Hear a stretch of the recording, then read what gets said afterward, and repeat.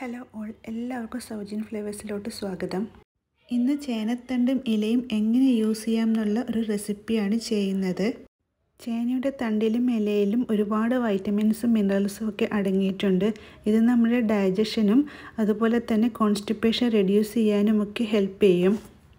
ഒത്തിരി fibre rich ആയിട്ടുള്ള ഫുഡാണ് ചേനത്തണ്ടും ചേനയും ചേനയുടെ ഇലയും ഒക്കെ. അപ്പോൾ ഇതിനു വേണ്ടി ഞാൻ ഇതുപോലൊരു ചേനത്തിന്റെ അടുത്ത് രണ്ട് പീസായിട്ട് മുറിച്ചെടുത്തിട്ടുണ്ട്. ഇനി ഇനി ഒന്ന് വൃത്തിയായിട്ട് കഴുകിയിട്ട് ക്ലീൻ ചെയ്തെടുക്കണം. ഇനി ഇതിനെ ഒരു രണ്ട് മൂന്ന് പീസായിട്ട് കട്ട് ചെയ്തിട്ട് ഇതിന്റെ തൊലിയൊക്കെ നമുക്കൊന്ന് ക്ലീൻ ചെയ്തെടുക്കണം. ഇതിന്റെ സ്കിന്ന് ആദ്യം കത്തിക്കൊണ്ടൊന്ന് മാറ്റിക്കൊടുക്കുക. പിന്നെ കൈകൊണ്ട് തന്നെ നമുക്ക് വലിച്ച് വലിച്ച് റിമൂവ് ചെയ്തെടുക്കാൻ പറ്റും.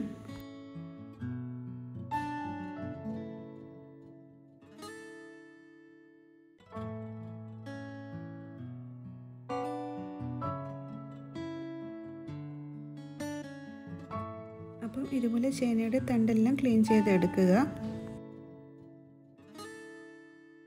അതുപോലെ ചേനയുടെ ഇലയും നന്നായിട്ട് വാഷ് ചെയ്തിട്ട് എടുക്കണം. ഇപ്പോൾ ചേനയുടെ തണ്ടെല്ലാം ഞാൻ ക്ലീൻ ചെയ്തിട്ട് വട്ടത്തിൽ അരിഞ്ഞ് വെള്ളത്തിലിട്ടിട്ടുണ്ട്. ഇത് നന്നായിട്ട് ഇനി ഒന്ന് വാഷ് ചെയ്തെടുക്കണം. ഇത് ഒരു സ്പോഞ്ച് പോലെയാണ്. വെള്ളം ഒത്തിരി അകത്തുണ്ടാവും. അപ്പോൾ നന്നായിട്ട് ഞെക്കി പിഴിഞ്ഞിട്ട് എടുത്ത് വേറൊരു പാത്രത്തിലോട്ട് എല്ലാം മാറ്റി വെക്കണം. ഇനി ചേനയുടെ ഇലയും നന്നായിട്ട് ക്ലീൻ ചെയ്തിട്ട് ചെറിയ ചെറിയ പീസായിട്ട് അരിഞ്ഞെടുക്കണം. അതുപോലെ ചേനത്തണ്ട് വാഷ് ചെയ്യുമ്പോഴും നിങ്ങൾക്ക് ആദ്യം വളരെ ചെറിയ ചെറിയ പീസായിട്ട് കൊത്തി അരിഞ്ഞിട്ട് വെള്ളത്തിലിട്ട് വാഷ് ചെയ്തും എടുക്കാം. ഇനി നമുക്ക് ചേനത്തണ്ടും കൂടി അരിഞ്ഞെടുക്കാം.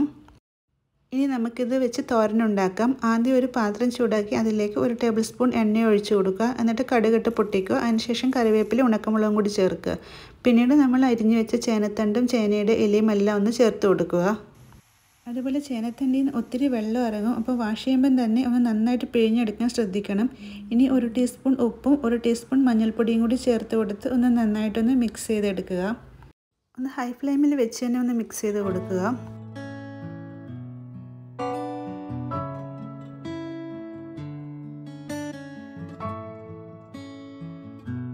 ഇനി നമുക്ക് ഒന്ന് കവർ ചെയ്തിട്ട് ഒരു രണ്ട് മിനിറ്റ് നേരം ഒന്ന് കുക്ക് ചെയ്യാം. ഫ്ലെയിം ഒന്ന് മീഡിയം ഫ്ലെയിമിലോട്ട് ആക്കി കൊടുക്കാം.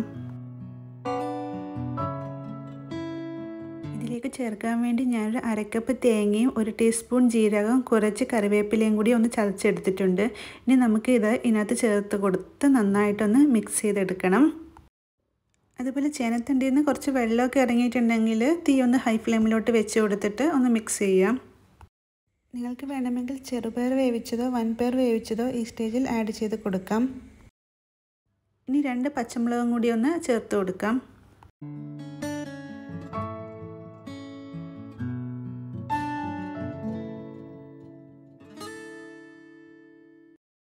ഇനി അരപ്പെല്ലാം ഒന്ന് പിടിക്കാൻ വേണ്ടി ഒരു രണ്ട് മിനിറ്റ് ഒന്ന് അടച്ചു വെച്ചിട്ട് വേവിക്കാം.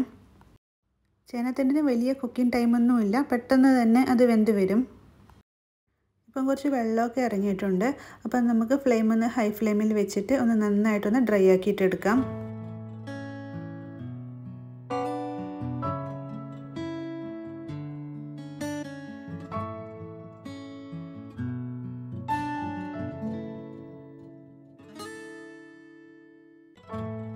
ഒരു മിനിറ്റ് ഒന്ന് തുറന്ന് വെച്ച് വേവിച്ച് കൊടുക്കുക. ഹൈ ഫ്ലെയിമിൽ വെച്ച് തന്നെ വേവിക്കാം. ഇപ്പം നമ്മുടെ ചേനത്തണ്ട് തുര നല്ല ഡ്രൈ ആയിട്ടുണ്ട്. ഇനി നമുക്കിതൊരു സെർവിങ് ഡിഷിലോട്ട് മാറ്റാം. ഇത് വളരെ ടേസ്റ്റി ആയിട്ടുള്ള റെസിപ്പിയാണ് അതുപോലെ ചേനത്തണ്ടിന് ഒത്തിരി ഹെൽത്ത് ബെനിഫിറ്റ്സും ഉണ്ട്. അപ്പോൾ ചേനത്തണ്ട് അവൈലബിൾ ആകുമ്പോൾ ഇതെല്ലാവരും ചെയ്ത് നോക്കുമെന്ന് വിശ്വസിക്കുന്നു. റെസിപ്പി ഇഷ്ടപ്പെട്ടെങ്കിൽ ഫ്രണ്ട്സും ഫാമിലി മെമ്പേഴ്സും ഒക്കെ ആയിട്ട് ഷെയർ ചെയ്യണം അതുപോലെ സബ്സ്ക്രൈബ് ചെയ്യാനും ലൈക്ക് ചെയ്യാനും മറക്കരുത്. by from 17 flavors.